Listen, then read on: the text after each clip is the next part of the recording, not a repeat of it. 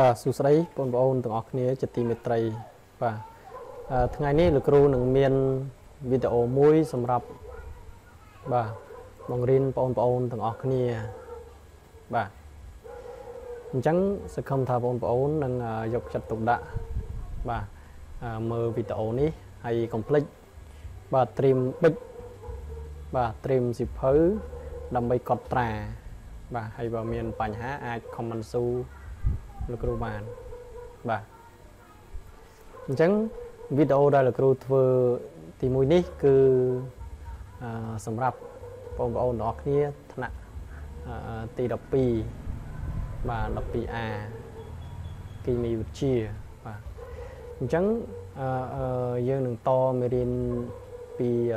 កាលពីខែ3ប៉ុន្តែមុននឹងបន្តមេរៀនលោកគ្រូបាទលោកគ្រូសូមរំលឹក បាទលោកគ្រូនឹងរំលឹកពួកយើងឡើងវិញ នៅខ្លឹមសារមេរៀនទី3មួយចំនួនបាទអញ្ចឹងសូមទស្សនាជាមួយលោកគ្រូទាំងអស់គ្នាបាទអញ្ចឹងនៅក្នុងចម្ពោះទី3បាទចម្ពោះទី3អឺគេនិយាយអំពីអាស៊ីតបាសបាទគេនិយាយអំពីអាស៊ីតបាសនៅក្នុងចម្ពោះទី3នេះយើងមានមេរៀនចំនួន3បាទ បាទអញ្ចឹងយើងនឹងរំលឹកចាប់ពីមេរៀនទី3ទៅ បាទមេរៀនទី3មេរៀនទី3គឺ pH បាទ pH solution solution ទឹកបាទ pH solution ទឹកថ្ងៃនេះលោកគ្រូនឹងរំលឹកនៅនិយមន័យមួយចំនួនដែលដែលជានិយមន័យសំខាន់សំខាន់នៅក្នុងមេរៀន pH solution ទឹកនេះបាទអញ្ចឹង លោកគ្រូនឹងរំលឹកនិយមន័យមួយចំនួនបាទអញ្ចឹងទី1ទី1យើងនិយាយអំពី solution ទឹកបាទ solution ទឹក solution ទឹកឬក៏គេសរសេរអក្សរកាត់គេថា AQ បាទឬក៏ភាសាដែលគេធ្លាប់ប្រើគេថាអកើជាដើមបាទអញ្ចឹងបងប្អូនមាននៅចាំទេថាតើ solution ទឹកហ្នឹងមានន័យថាម៉េចបាទ និយមន័យរបស់ solution ទឹកជា solution ដែលយើងប្រើទឹកដែលយើងប្រើទឹកជាធាតុរំលាយបាទ solution ទឹកជា solution ដែលយើងប្រើទឹកបាទដែលយើងប្រើទឹកជាធាតុរំរំលាយបាទអញ្ចឹងយើងឃើញថាមាន solution ច្រើនណាស់បាទដែលគេយកទឹកសម្រាប់ធ្វើជាធាតុរំលាយណាបាទដូចជាអំបិល ដូចជាស្ករណាបាទសត្វតែប្រើទឹកគឺជាធាតុរំរំលាយបាទជាធាតុរំលាយហើយនឹង solution មួយចំនួនទៀតបាទអញ្ចឹងឧទាហរណ៍ដូចជាសាំងបាទអញ្ចឹងលោកគ្រូឧទាហរណ៍សាំងសាំងជាធាតុរំលាយថ្នាំលាបលាបផ្ទះអីជាដើមអញ្ចឹងទៅ បាទអញ្ចឹងជាទូទៅយើងឃើញថាគឺមានទឹកតែនេះយើងយកសាំងមកសម្រាប់ធ្វើជាធាតុរំរំលាយបាទរំលាយថ្នាំលាបលាបផ្ទះបាទ អញ្ចឹងបងប្អូនដែលធ្លាប់ធ្វើផ្ទះបាទយើងឃើញជាងគេយកសាំងទៅលាយជាមួយនឹងថ្នាំលាបផ្ទះណាបាទឬក៏យកសាំងទៅលាងនៅពេលដែលគេប្រឡាក់ដៃណាបាទប្រឡាក់ដៃពិសេសថ្នាំប្រេងណាបងប្អូនបាទពិសេសថ្នាំប្រេងបាទហើយមួយទៀតអេស្ទាបាទអេស្ទាជាធាតុរំលាយបាទថ្នាំលាបកញ្ចក់ដៃអញ្ចឹងគេពេលដែលយើង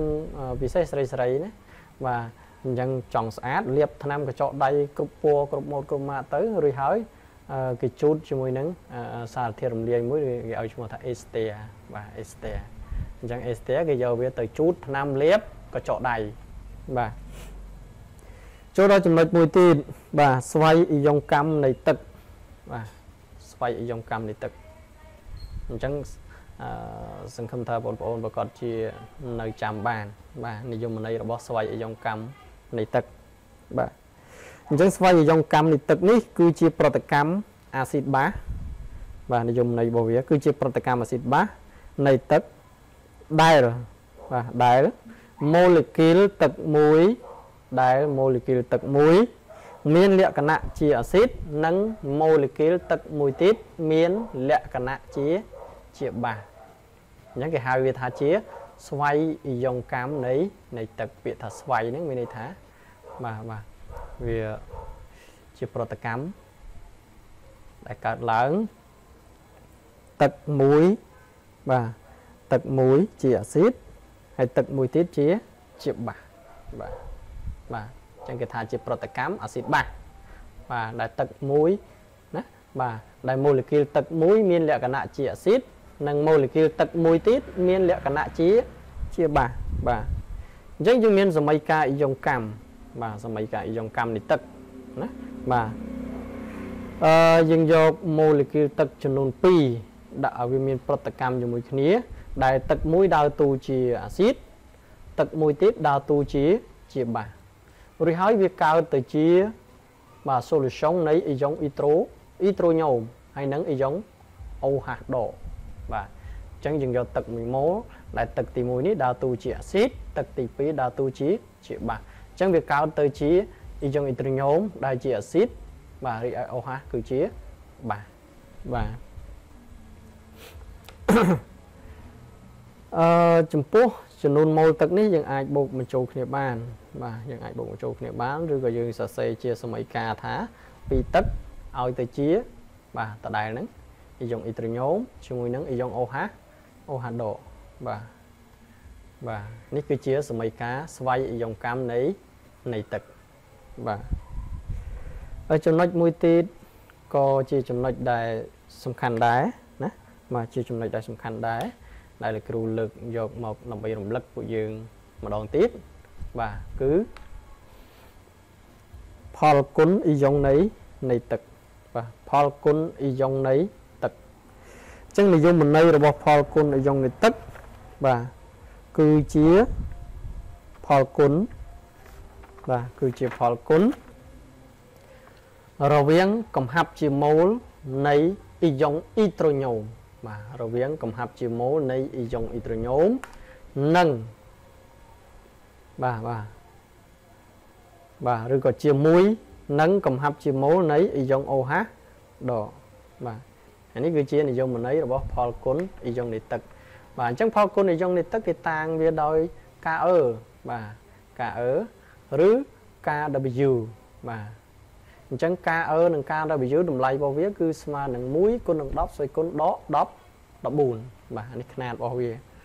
បាទអញ្ចឹងតម្លៃរបស់វាគឺ1គុណនឹង10ស្អុយគុណដក10 14ឬក៏គេថា10ស្វ័យគុណដក14បាទ អញ្ចឹងនិយមន័យវាជាផលគុណរវាងកំហាប់ជាម៉ូនៃយងអ៊ីត្រូញ៉ូមនិងកំហាប់ជាម៉ូនៃ OH OH ដបាទមួយទៀតបាទមួយទៀតក៏សំខាន់ដែរ solution acid បាទ solution acid អញ្ចឹងពាក្យថា solution acid នេះមានន័យថាវាមានអីគេបាទគេចង់សំដៅដល់ solution ទាំងឡាយណាដែលមានកំហាប់ អ៊ីយ៉ុងអ៊ីត្រូញ៉ូមច្រើនជាងកំហាប់ OH OH ដ